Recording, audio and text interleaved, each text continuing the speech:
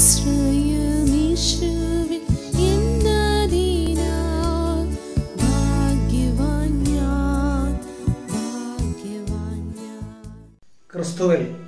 എന്റെ ബഹുമാന്യ പ്രേക്ഷകർക്ക് പ്ലറോമ ടി വിയിലേക്ക് സ്വാഗതം. ഭയപ്പെടരുത്. നാം അതിജീവിക്കുമെന്ന ദൈവ വചന ധ്യാനത്തിന്റെ നൂറ്റി തൊണ്ണൂറ്റി രണ്ടാമത്തെ എപ്പിസോഡ് ശ്രമിക്കുന്ന ലോകമെങ്ങുമുള്ള എന്റെ പ്രിയപ്പെട്ട സഹോദരങ്ങൾക്ക് പ്രത്യേകമായ വന്ദനം പറയും. കഴിഞ്ഞ നൂറ്റി തൊണ്ണൂറ്റി ഒന്ന് എപ്പിസോഡുകളിലായി ദൈവവചനത്തിലൂടെ ഈ കോവിഡ് കാലത്ത് എന്റെ പ്രിയപ്പെട്ടവരെ ധൈര്യപ്പെടുത്തുവാൻ കർത്താവ് നൽകിയ ആ നല്ല അവസരത്തിനായിട്ട് സ്തോത്രം. ഈ സോഷ്യൽ മീഡിയയിലൂടെ എനിക്ക് പരിചയമുള്ളവരും പരിചയമില്ലാത്തവരും അങ്ങനെ ക്രിസ്തുവിൽ എന്റെ പ്രിയപ്പെട്ട സഹോദരങ്ങളെ സന്ധിക്കുവാൻ ദൈവം ഇങ്ങനെ ഒരു മുഖാന്തരം നൽകിയത് ഓർത്ത് സകല മഹത്വവും കർത്താവിന് അർപ്പിക്കുന്നു. പ്രാർത്ഥനയോടുകൂടെ ഈ നൂറ്റി തൊണ്ണൂറ്റി രണ്ടാമത്തെ എപ്പിസോഡിലെ വചനചിന്തയിലേക്ക് നമുക്ക് പ്രവേശിക്കാമല്ലോ. കഴിഞ്ഞ എപ്പിസോഡുകളിൽ നാം ചിന്തിച്ചുകൊണ്ടിരിക്കുന്നത് കൊണ്ടിരിക്കുന്നത് ഉൽപ്പന്നങ്ങളെ കുറിച്ചാണ് അങ്ങനെ ആ ഉൽപ്പന്നങ്ങൾ പല നിലകളിലായിരുന്നു. ഭീരത്വത്തിന്റെ ഓരോ സാഹചര്യങ്ങളും നമ്മൾ ചിന്തിച്ചു. അതിനുശേഷം നാം ദണ്ഡനത്തെ കുറിച്ച് ചിന്തിച്ചു. അത് ഭയത്തിന്റെ ഒരു ഉൽപ്പന്നമാണ്. അതിന്റെ പല മേഖലകൾ ചിന്തിച്ചു. അതിനുശേഷം നാം വെല്ലുവിളിയെ കുറിച്ച് ചിന്തിക്കുകയാണ്. ഭയത്തിന്റെ ഉൽപ്പന്നമാണ് വെല്ലുവിളി. അങ്ങനെ ഭീരുത്വത്തെ എങ്ങനെ അതിജീവിക്കാമെന്നും ദണ്ണനത്തെ എങ്ങനെ അതിജീവിക്കാമെന്നതും നാം പങ്കുവെച്ച് കഴിഞ്ഞു. എന്നിട്ട് വെല്ലുവിളിയെ എങ്ങനെ അതിജീവിക്കാം എന്നതാണ് ഇപ്പോഴത്തെ നമ്മുടെ ചിന്താവിഷയം. ഭയത്തിന്റെ ഉൽപ്പന്നമായ വെല്ലുവിളിയെ എങ്ങനെ നമുക്ക് ഫലപ്രദമായി അതിജീവിക്കാം. അതിൽ ഒന്നാമത്തേത് ദൈവാശ്രയ വാക്കുകൾ പ്രസ്താവിക്കുക എന്നതായിരുന്നു. അങ്ങനെ ആ നിലയിൽ അതിനെ അതിജീവിച്ച ദൈവ ദാസിദാസന്മാരെ കുറിച്ച് നമ്മൾ കഴിഞ്ഞ ദിവസങ്ങളിൽ പങ്കുവച്ചു.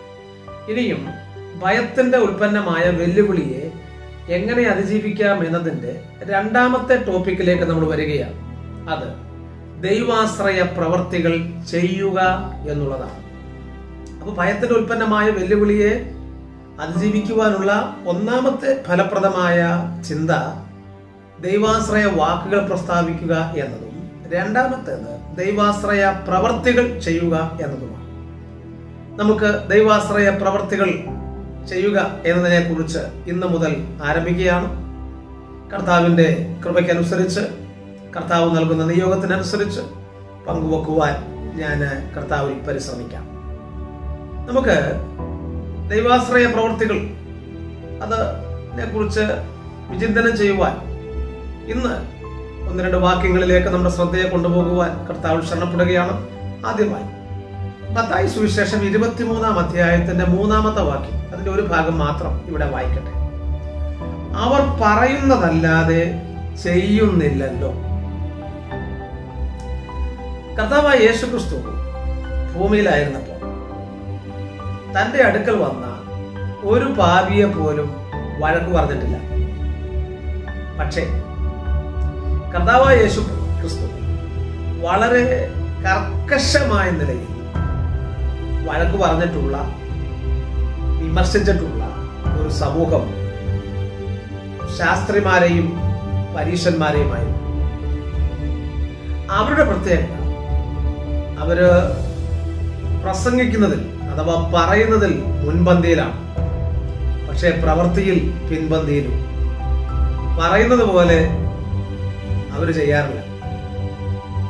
അതുകൊണ്ട് തന്നെ കർത്താവ് കർത്താവ് സുവിശേഷം ഇരുപത്തിമൂന്നാം അധ്യായത്തിന്റെ മൂന്നാമത്തെ വാക്യത്തിൽ കർത്താവ് പറയുന്നത് തന്റെ ശിഷ്യഗണങ്ങളോട് നിർദ്ദേശം കൊടുക്കുകയാണ്. ആകയാൽ അവർ നിങ്ങളോട് പറയുന്നതൊക്കെയും പ്രമാണിച്ചു ചെയ്യുവീൻ.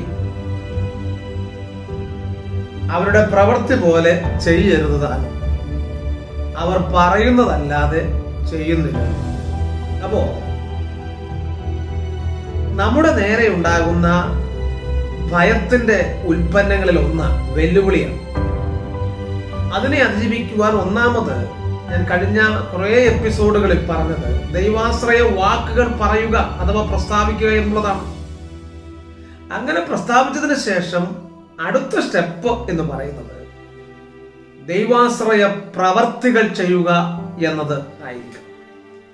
അത് ചെയ്യുവാൻ കഴിയാതെ പറഞ്ഞതുകൊണ്ട് പ്രസംഗിച്ചതുകൊണ്ട് ഒരു പ്രയോജനവുമില്ല എന്നുള്ള യാഥാർത്ഥ്യം നമ്മൾ മറന്നു.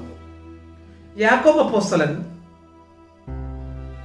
അതിനെക്കുറിച്ച് പറയുന്ന ഒരു പദപ്രയോഗം യാക്കോബിന്റെ ലേഖനം ഒന്നാം അധ്യായത്തിന്റെ ഇരുപത്തിരണ്ടാമത്തെ വാക്യത്തിലുണ്ട്.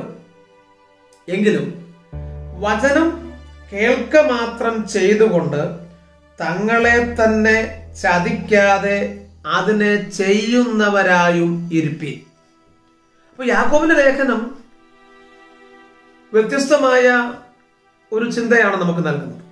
റോമാലേഖനം വിശ്വാസത്താലുള്ള നീതീകരണമാണ് നമുക്ക് നൽകുന്നതെങ്കിൽ യാക്കോബിന്റെ ലേഖനം വിശ്വാസത്താൽ നാം നീതീകരിക്കപ്പെട്ടിരിക്കുന്നു എന്ന് പ്രവൃത്തികളാൽ തെളിയിച്ചു കാണിക്കുവാൻ വേണ്ടിയുള്ള സന്ദേശമാണ് നമുക്ക് നൽകുന്നത്.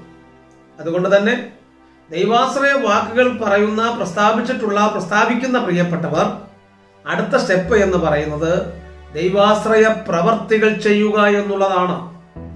അതിന് ക്രിയേറ്റീവായിട്ട് ക്രിയാത്മകമായിട്ട് നമ്മുടെ ദൈവാശ്രയ പ്രവർത്തികൾ മുൻപോട്ട് ചെയ്ത് മുന്നേറുവാൻ തക്കവണ്ണം നമുക്ക് കഴിയണം. ഈ കോവിഡ് കാലത്തും അതിനു സാധിക്കും പ്രിയപ്പെട്ടവരെ. ദൈവനാമത്തിന്റെ മഹത്വത്തിനായിട്ട് തന്നെ നമ്മുടെ ഓരോ സ്റ്റെപ്പുകളും മുൻപോട്ട് വെച്ച് പോകുവാൻ നമ്മൾ തയ്യാറാകുമ്പോൾ നമുക്കെതിരെ ഉണ്ടാകുന്ന ഈ വെല്ലുവിളിയെ നമ്മുടെ ദൈവാശ്രയ പ്രവൃത്തികളിലൂടെ അതിജീവിക്കുവാൻ കഴിയും എന്നുള്ള ഉറപ്പ് ഞാൻ എന്റെ ശ്രോതാക്കൾക്ക് കൈമാറുകയാണ്. സമയത്തിന്റെ പരിമിതി കൊണ്ട് ഇവിടെ അവസാനിപ്പിക്കേണ്ടിയിരിക്കുന്നു. കർത്താവ് അനുവദിച്ച അടുത്ത എപ്പിസോഡുകളിൽ വേദപുസ്തകത്തിൽ പഴയ നിയമത്തിലും പുതിയ നിയമത്തിലും കർത്തൃ ഭൃത്യന്മാർ ദൈവാശ്രയ പ്രവൃത്തികൾ ചെയ്ത് എങ്ങനെയാണ് മുന്നേറിയത് എന്നുള്ളത് അടുത്ത എപ്പിസോഡുകളിൽ നമുക്ക് ചിന്തിക്കാം. അങ്ങനെയുള്ള ഒരു മുഖാന്തരം കർത്താവ് നമുക്ക് നൽകുന്നുണ്ട്. ആത്മനിയോഗത്തോടെ അടുത്ത എപ്പിസോഡുകളിൽ ഞാൻ അങ്ങനെയുള്ള കാര്യങ്ങൾ പങ്കുവെക്കുന്നതായിരിക്കും. പ്രാർത്ഥനയോടെ നമുക്ക് അടുത്ത ദിവസങ്ങളിൽ വീണ്ടും കാണാം. അതുവരെ സർവശക്തനായ ദൈവം എന്റെ പ്രിയപ്പെട്ടവരെ കാത്തു സൂക്ഷിക്കട്ടെ. ഒരു നിമിഷം നിങ്ങൾക്ക് വേണ്ടി പ്രാർത്ഥിക്കട്ടെ. സ്വർഗപിതാവേ ദൈവത്തിന്റെ വചനം കേട്ട എന്റെ പ്രിയപ്പെട്ടവരെ കർത്താവ് സഹായിക്കണം അവരുടെ പ്രയാസവേളകളിൽ ഈ കോവിഡ് കാലത്ത് ദൈവാശ്രയ പ്രവർത്തികൾ ചെയ്യുവാൻ തക്കവണ്ണമുള്ള പ്രത്യേക കൃപ അവർക്ക് നൽകണമേ. എന്റെ പ്രിയപ്പെട്ടവരെ ഒന്നിച്ച് അനുഗ്രഹിക്കണം യേശു ക്രിസ്തുവിന്റെ നാമത്തിൽ പിതാവെ കേൾക്കുമാറാകണമേ. ആമേ പ്രിയരെ നമ്മുടെ കർത്താവ് മടങ്ങി വരുന്നു. നമുക്ക് അതിനായിട്ട് ഒരുങ്ങാം. മാറാ നാഥ. ഭയപ്പെടരുത്. നാം അതിജീവിക്കും.